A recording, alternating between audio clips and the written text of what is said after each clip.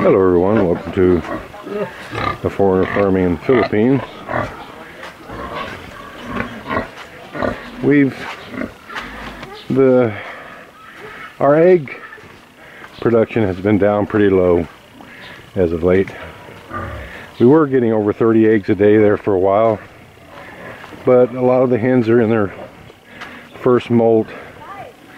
And these Kabir are a little are different than the Rhode Island Reds and Australorps and Barred Rocks and just about every other kind of breed that I'm really familiar with.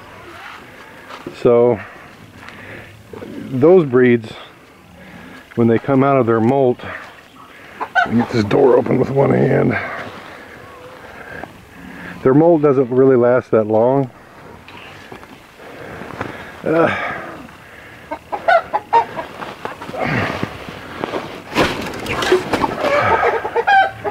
I was carrying that over here, that's why I was starting to pant a little bit. I'm going to spread this out here because it's a little, well, it's just a little nasty up underneath here because this is kind of a low spot. So I'm going to spread these rice hulls out underneath right here. That's one of the little eggs right there. This is a new little hen. There's an egg also there. That started laying. Floor. So dirty. It's all dirty. Yeah, dirty. Dirty. That's two. Yeah. Anyway, I'm going to spread this out here so it's uh, not quite so messy up underneath here. When the chicken, when the hens in particular come around here and they they walk through this, they scratch in it, whatever, uh, it gets their feet dirty. And it gets the eggs dirty. They'll hop up in the in the laying area and it keeps their eggs dirty. And I I don't like to wash the eggs before I incubate them. Just incubate clean eggs and it's hard to do. I, I, said we were getting about 30 eggs a day, and now we're getting between 12 and 16. So, what few eggs that we are getting, I want to make sure they're mostly all clean. Yeah. and we might bring a couple more sacks over here too. I want this built up so that this is a high spot. But we've got another sack here, and we're going to put this one. Oh, need more? Yeah, bring one more. Two, bring two more, and we'll put them both over there. But this one, this one, Jen, bring this one over here. I wanna, I wanna put this in here right now, just to, uh, yeah, just basically fill them up. I'm gonna put rice hulls in here in the actual laying boxes, pretty deep. Uh, we are getting a few cracked eggs. Um, as I think, as I've shown people, this doesn't need to be in here. Here, I'll let you hold the camera.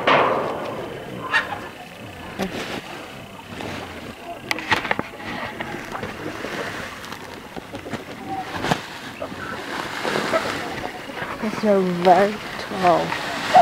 Okay.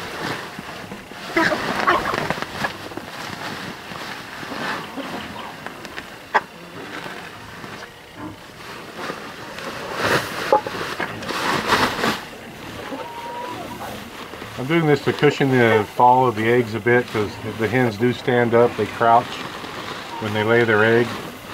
And it's falling a couple inches usually. And if that couple inches is down onto a hard piece of bamboo, then the egg will break. It'll put a little crack in it. Now they will get up here and play around in this a little bit, but hopefully they won't treat it as food. Then I'm going to put this in all the rest of these here as well.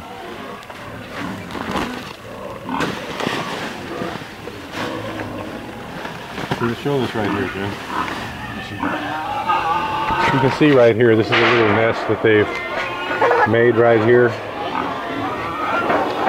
This is their little nest, but if the egg falls and hits this here, that's hard bamboo and it'll break the egg. Now there's a little bit still in the bottom of that one, a little bit of cushion.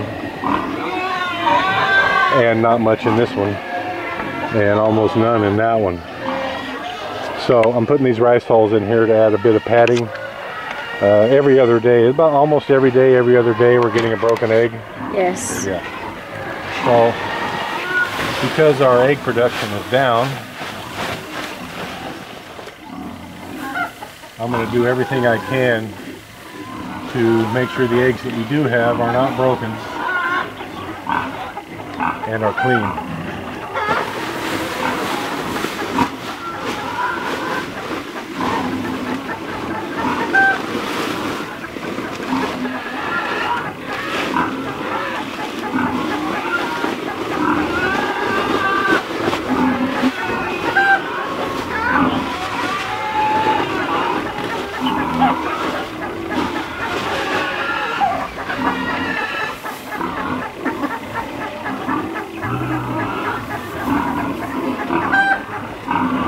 Probably going to take another half sack, Jen. Now here's the net we needed to catch uh, down here. Yeah, I think they use it that there. It does have to have a bit of lemongrass in it. This has lemongrass in them now.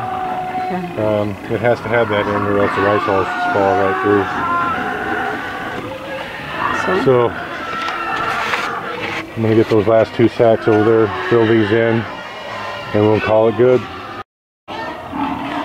Well, we've got all the rice hulls in there that I'm gonna put in. Uh, thought they put this faucet in here. So we're running this faucet from the fattening pen over to here. So now we have water here. Pretty spiffy.